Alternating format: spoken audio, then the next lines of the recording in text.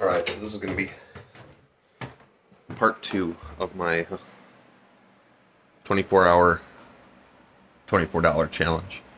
Um, we're going to grab the micarta that we made last night and see what how it came out and if it came out uh, at all halfway decent. Um, let me put you guys here.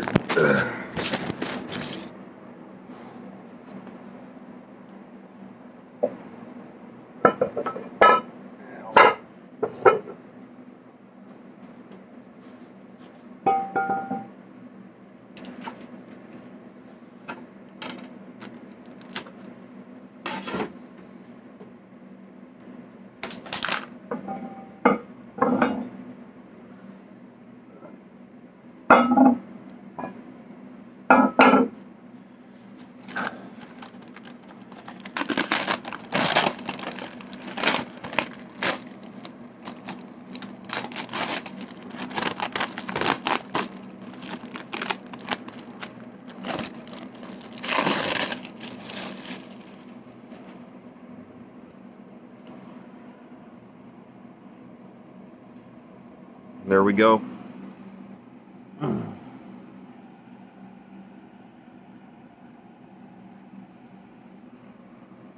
Looks decent. It's a little bit sticky still, like the outer edge. But I'm sure that's just because it hasn't been exposed to air for very long. But this is it. This is our piece of my micarta. We're going to make a slingshot out of this. Okay, so we got our piece here. It's a little bit better in the light. and then uh, I'm going to use a template, trace it out, and then we'll cut it out. Okay, so we got it traced. I actually have enough room to do two. Um, and I might cut these and just keep them as blanks to use them as a one facing, but I might also just put them together and have a pair. No big deal. So what we're going to do is we're going to cut inside the black marker line as close to the center as we can without going over the line on both of these. So we're going to take our time. We use the scroll saw. And uh, then uh, we're just going to glue the two faces together. And uh, I'll show you me cutting it out on the saw and gluing it all up and stuff.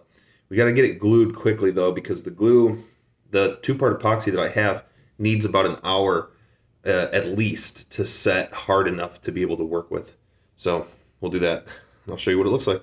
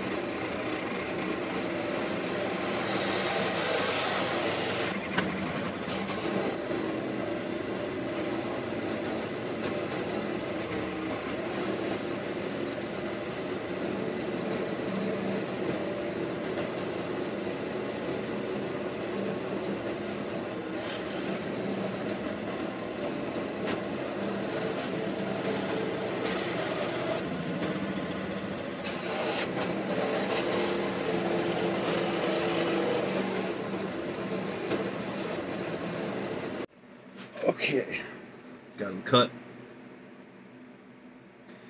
So now we're going to look and see which sides we like more. So maybe there's some imperfections in the canvas that I don't want to show. And then you can put that, if there was on this side, then we could just glue it like that. So that you don't see them. Um, there's always going to be some imperfections, so you're never going to get it exactly right. But I think for our purposes, what I'm going to do, I actually like the side that I drew on, so you can still see a little bit of the marker on both pieces. And I think I'm going to face both of the sides with the marker on the outside. And that way, it'll give me a very rough line to be able to sand a little bit too before we end up, uh, you know, before we end up uh, using the router on it. All right, so for this part, we're gonna mix two part epoxy glue. We're gonna put the two part epoxy glue in between, glue it up, and then I got some clamps, but also I'm gonna use some rubber bands. And the rubber bands will help stop it from shifting side to side. Um, sometimes when you clamp it, it'll shift a little bit, and then you'll get something like that. And you can rework it, but it sucks a lot. But the rubber bands keep it really tight that way, so that you don't have to worry about it shifting. Also wanted to, real quick, do a quick caliper reading for people wondering how thick this got. So this is 10 layers of the canvas. It's about 5 sixteenths. Scale the rest of it. It's a little bit thicker up near the fork, 8.2. It's a little bit thinner down here, 7.7. But sure this one is the opposite. Yep. Yeah, it's exactly the opposite. So it's going to end up working out nicely because on one of them, if the forks is thinner and the other one, the handle's thinner, then you end up with the same thickness when you glue it up. It also is going to really help to use sandpaper on the edge that you're going to sand, on the portion that you're going to sand. So I want to make sure lines, that's the lines. So I'm going to sand both the back sides that I'm going to put glue on. And uh,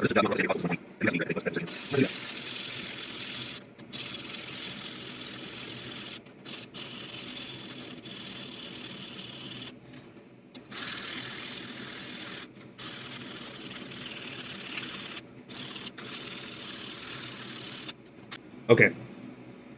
So, Gloves, again,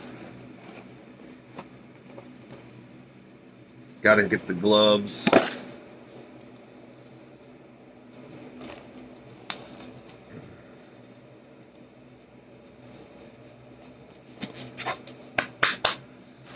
I'm to take out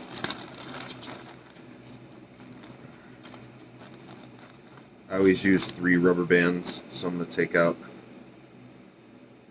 one, two, three. Put the rest in.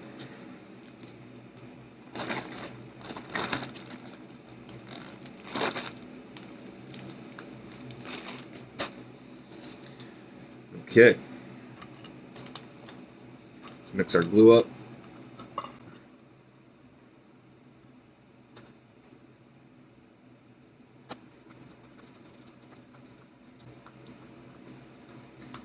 Now this stuff sets in like literally five minutes, so you don't have very long. Luckily, all we're doing is uh,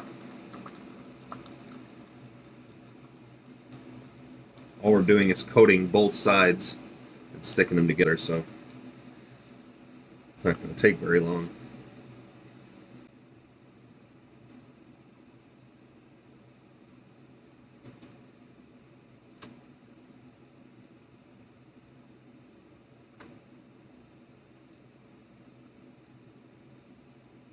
Both sides with enough on every surface. Just stick them together. That. And then this is where I use the rubber band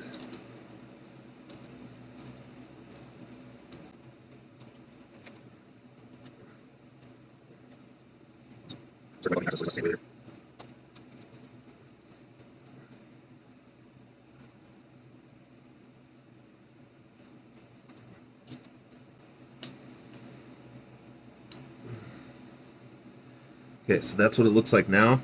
Rubber band's real tightly wrapped around. Glue is starting to come out of the center, but we're just going to try to wipe some of it away.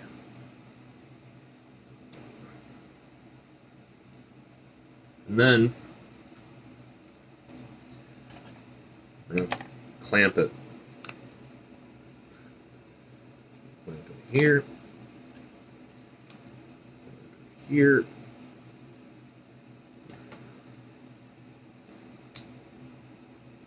Here the fork. This one the fork. Awesome. just in case any glue drips, I got one of those floorboards there, so it's just a disposable piece we can toss if we need to. Awesome. We're going to come back to this in a couple hours when the glue is set, and we'll uh, we'll get to sanding and routing. It's been about three hours. This is what we're left with. So we're going to take this to the um, we're going to take this to the belt sander a little bit clean it up in the with the Dremel as well.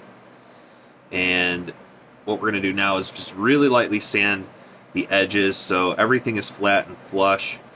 We have a nice, really squared off look. And then we're going to take it to the router and round everything off. Oh man, look at that beard. Woo! anyway, yeah, so that's what we're going to do. Let's go do that right now.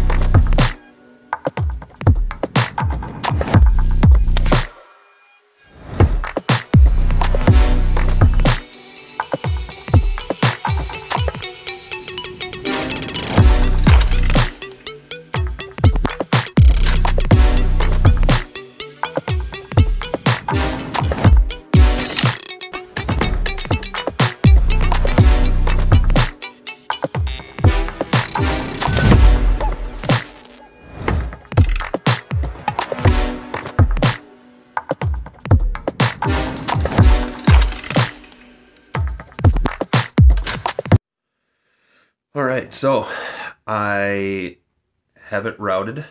You can see the edging. I left the fork, the inside fork, a little bit more shallow and the fork tips and the bottom of the handle. And I gave the sides a little bit more profile around. But it looks great right now. It's my full-size Yeti design which is uh, my favorite single slingshot. If I had to pick any one single design to shoot forever, it would be this one. So what we're going to do now is sand it up.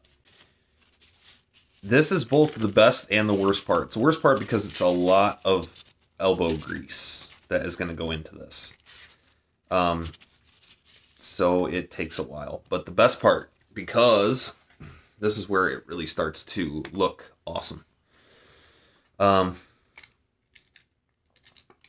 I have a great big bowl down by my feet, and I'm going to put on something interesting on TV and get to sanding. All right, this is sanded up after 120. You can start to see the lines of the canvas. And, uh, oh man, I'm dirty. Uh, that is going to re- it really puts makes the look of this thing look great. Right now, it's totally shootable too. Um, I'd probably take some extra time to sand the tips of the forks uh, if you were going to shoot it like this, just so that the latex doesn't uh, get tore up when you're trying to when you're trying to shoot. Uh, I don't have any 220 that's wet sandpaper, so oh well. I'm gonna go straight to 400. This came out so nice and smooth. I don't think I'm gonna need a 220 anyway. Really, I'll just probably end up having to spend about twice as much time on the 400 as I would have. Okay, sand it up to 400. The layers really start to separate themselves now. But now I'm going to get it ready for the binding post because I did buy those as well. So I'm going to put those as an attachment on this. And how I do that is with my calipers. A little score mark there. And then on the other one, we're going to do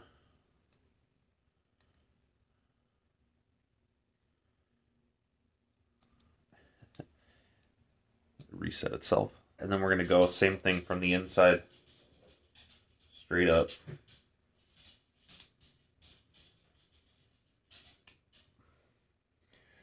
You can see the score mark there. Awesome. And these are the washers that press the band to the fork. What we're going to do is find the find the score mark, find the hole, and then make sure that the washer can sit flat. And then, uh oh, need my marker. Oh, I got it right here. and then we're going to make a dot in the middle. The same thing on the other side with the other washer. The calipers again to make sure they're about even distance. All right.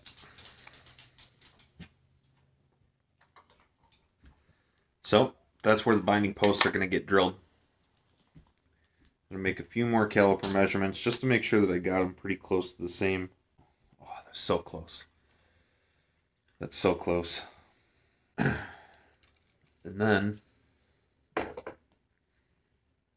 we're going to go drill this. We're going to drill the hole straight through.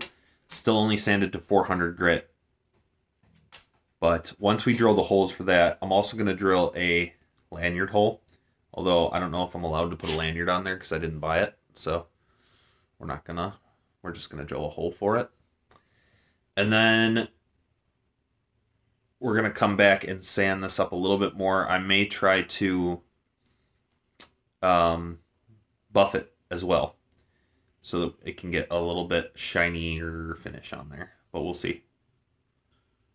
It's looking good so far. Boom. So I drew couple of lines on a straight edge across on both sides at the same depth. Came out perfect. So now the binding post, which looks like this, fits right into the hole like that.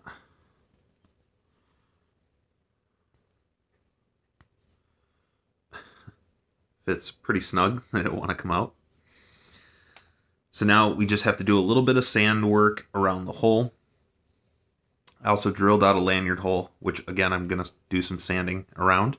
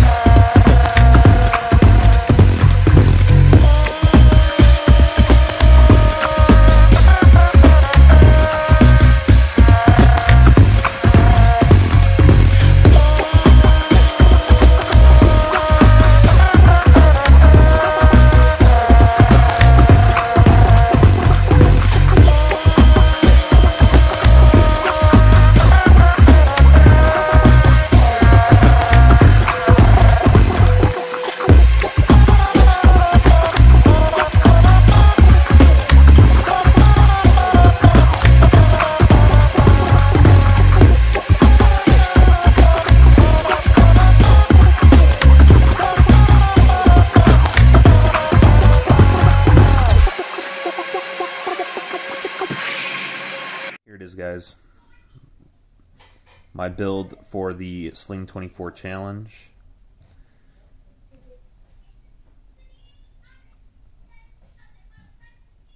Micarta came out really great.